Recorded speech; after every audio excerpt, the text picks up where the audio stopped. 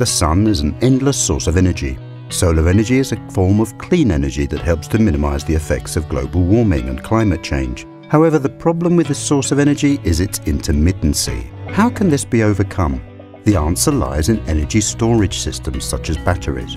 Batteries make it possible to store part of the solar energy produced during the day, so that it is available in the early evening when electricity consumption is high.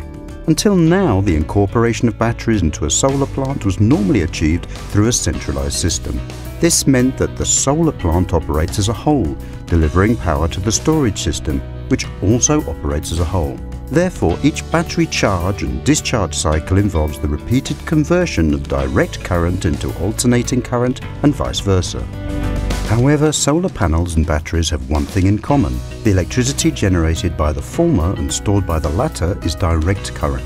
For this reason, the Campo Arañuelo project features an innovative storage technology consisting in the distributed incorporation of batteries into the solar plant.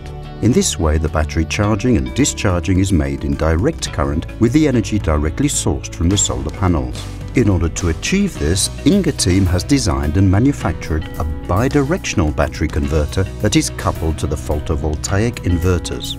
This technology makes it possible to extract more energy from the solar array by utilizing a part of the solar energy which, without this system, would be clipped if we compared the ratio between the installed power and the rated power of the plant. This is known as clipping recapture.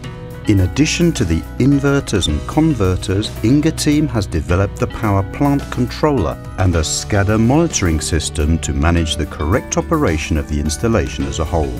This makes it possible to implement a range of strategies, thereby increasing the flexibility of the generating plant. The Campo Arañuelo project serves to demonstrate that the combination of solar energy with storage systems is now an alternative to conventional plants, given that it represents a clean, reliable and cost-effective solution, while also guaranteeing total energy availability.